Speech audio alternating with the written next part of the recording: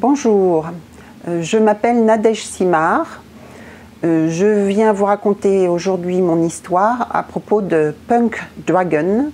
Donc, euh, je vis ici depuis plus de 20 ans, à Saigon et à Hanoï. Et en 20 ans, j'ai fait beaucoup de photos, beaucoup de films. Et en fait, ce projet est parti sur cette base. j'ai une passion, je prends mon scooter tous les jours et dès que je vois une scène de vie qui m'intéresse, quelque chose qui se passe dans un atelier, quelqu'un qui travaille, je m'arrête, si c'est sur le trottoir ou dans une petite impasse ou dans une rue, je prends des photos, je filme et j'adore ça. J'adore les regarder vivre, j'adore les couleurs, j'adore tout ce qui se passe dans leur vie. Et quand c'est en mouvement, c'est-à-dire une moto ou un scooter ou un gros chargement comme on trouve beaucoup ici, je les suis, je fais demi-tour, j'essaye de me faufiler euh, comme un serpent, comme ils font euh, euh, dans les rues, et je les filme tout en roulant. Je sais que c'est pas très très, il faut faire attention, mais en fait c'est une passion. C'est-à-dire que au moment où je fais la photo et le film, depuis toujours, j'ai l'impression que cette photo et ce film, ils sont déjà disparus parce que c'est un moment de vie. C'est quelque chose qui se passe avec une émotion parce que ils travaillent dur tous et, il y a une vie qui, implose et qui explose à tout moment. Et donc c'est ça ma passion de faire ça tous les jours.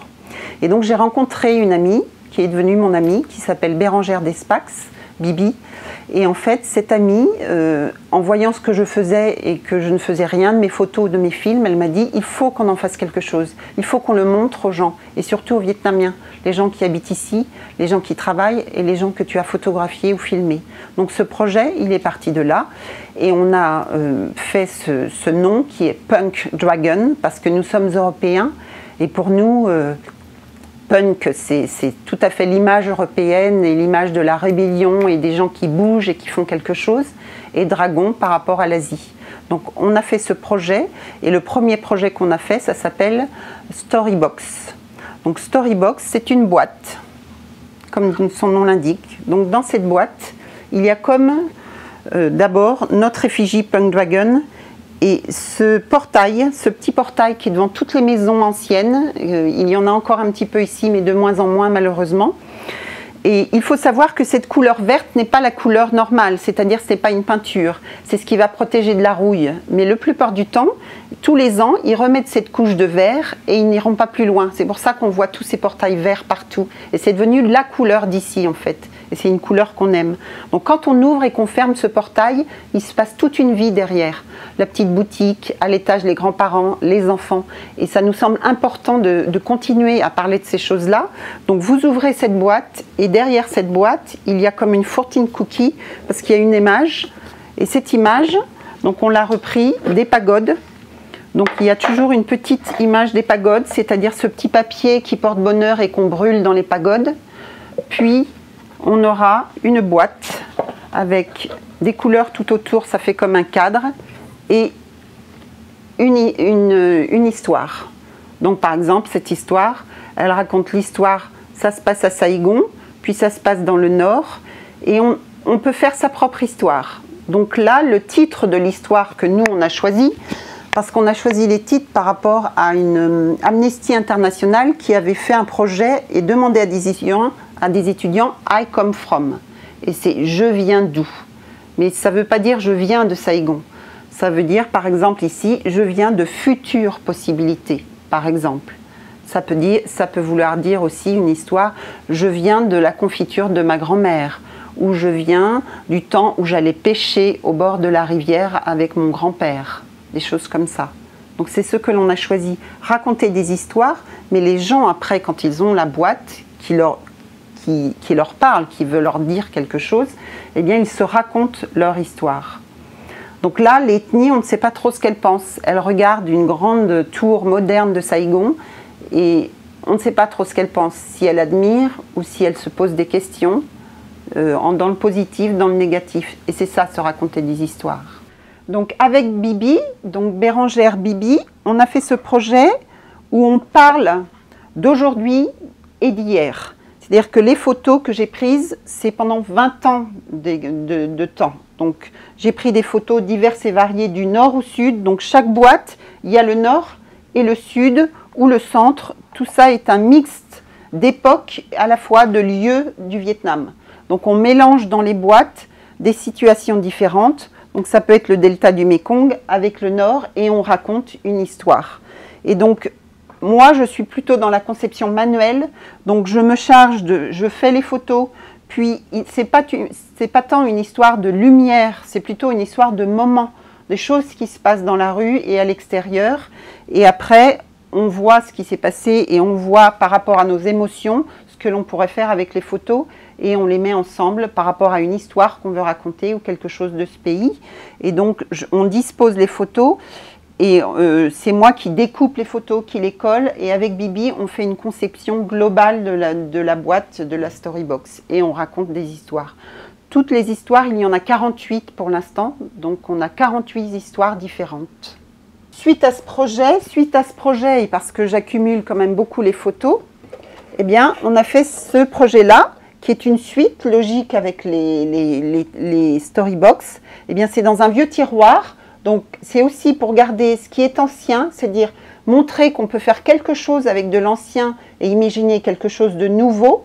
Et toutes les photos que j'ai prises, beaucoup de photos que j'ai prises, il y a 32 photos de motos différentes, à plein d'époques différentes, avec des, tout un tas de métiers. Et une photo, par exemple, qui date ici au fond de 2002. Donc ces bâtiments n'existent plus aujourd'hui. Et c'est aussi pour rappeler à la mémoire des gens que ça a existé et que c'est aussi une autre époque, mais que ça peut être aussi aujourd'hui. C'est-à-dire qu'on peut le voir aujourd'hui et continuer à s'en servir. Alors, un autre projet aussi qui s'appelle Zigzag, euh, parce qu'on parle des motos. Donc, on a pris euh, la plaque numérologique des motos, que l'on trouve partout sur les motos. Ensuite, on a fait une gravure, on a fait graver par un monsieur un petit. Ce qui est important pour nous aussi, c'est de prendre des petits ateliers de la ville, c'est-à-dire des petites familles qui travaillent dans leur coin, mais pour les aider aussi, parce que pour nous, c'est important qu'on aide les gens qui sont ici. Et donc, on a fait graver un motif qui reprend notre dragon pour faire un miroir. Et donc, au dos, on retrouve une moto toujours une moto que, dont j'ai fait la photo euh, il y a très longtemps. Vous voyez, cette personne, elle porte même une télé euh, sur sa moto avec son petit enfant qui dort à côté. Et puis, noir, euh, noir et blanc, une photo d'un lieu de, du nord ou du sud, peu importe, ça c'est pas important. Ce qui est important, c'est le mélange entre les couleurs, le noir et blanc, et donc quelque chose qui est nouveau par rapport à un objet finalement qu'on voit tous les jours sur une moto et dont on ne fait pas attention on le voit, mais on, ne le regarde plus. Donc ce, projet-là s'appelle Zigzag. Alors euh, là, je vous parle d'un projet qui nous tient aussi beaucoup à cœur euh, avec Bibi euh, pour Punk Dragon. C'est un projet qui est parti toujours de mes photos, donc c'est une photo ethnique. Et en fait, ce projet, ce sont des néons box, toujours des boîtes, à partir de boîtes, mais avec du néon. Et cette boîte, par exemple, s'appelle La Vie. Alors, La Vie, c'est tout le monde connaît ici. La Vie, c'est les bouteilles d'eau que l'on vend partout dans les rues et partout dans les maisons. Euh, donc, ce sont des grosses bouteilles d'eau, des grosses bonbonnes qu'on se fait livrer euh, sur des motos, sur des scooters, et elles ont un gros bouchon rouge. Donc, notre idée, c'était de prendre quelque chose qui sert tous les jours pour le transformer, le reprendre dans une boîte qui devient moderne, dans une idée, dans un développement moderne de, artistique. Donc on a collé tous ces bouchons de ce qu'on appelle la vie, puisqu'ici ça s'appelle la vie, cette bouteille d'eau. Et donc cette boîte elle-même s'appelle la vie, parce que ça, porte bien son nom avec ce bébé qui est sur le dos de cette maman ethnique. Et donc ça c'est une photo que par exemple que j'ai prise dans les années 2000, environ 2002. Donc ce n'est pas aujourd'hui, mais aujourd'hui on en fait une boîte moderne qui s'appelle le Neon Box. Euh, je voudrais euh, aussi dire que quand on fait les expositions, donc on en a fait à Saïgon deux fois, là je vais faire ma troisième la semaine prochaine, et puis euh, j'ai fait une exposition à Hanoï pour le mois de la photo à Hanoï par les Français, eh bien c'est intéressant de voir ce que pensent les Vietnamiens qui ont toujours vécu ici, qui sont nés ici et ont grandi ici.